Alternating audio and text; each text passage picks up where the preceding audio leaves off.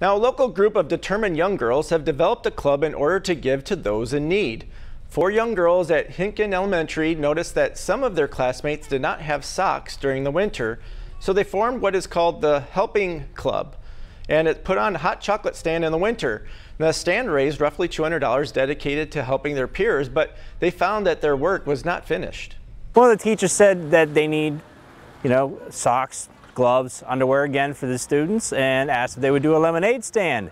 So they got together, put together a lemonade stand, and we're hopefully going to raise lots of money for needy families in the area. Now, hoping to raise around 150 through lemonade sales alone, all funds were dedicated to supplying young students with various clothing items.